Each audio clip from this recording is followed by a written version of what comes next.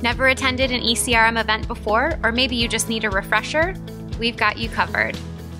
You can expect busy days where suppliers large and small present product offerings to buyers capable of making purchasing decisions.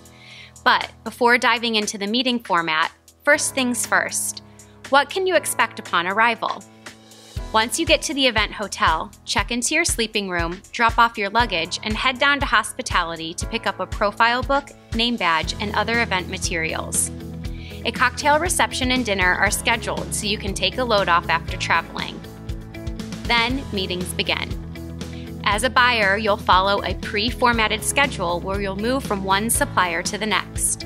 These meetings are back to back and happen quickly, which is why our team of client service representatives are there to keep schedules on track. After the day is done, take business outside of the meeting room and into a more casual environment. Join us for fun evening entertainment and meals where you can network with others in the industry. Don't forget, once you register, you'll be assigned an ECRM account manager, so you'll always have someone to answer questions along the way. We look forward to seeing you at the upcoming event.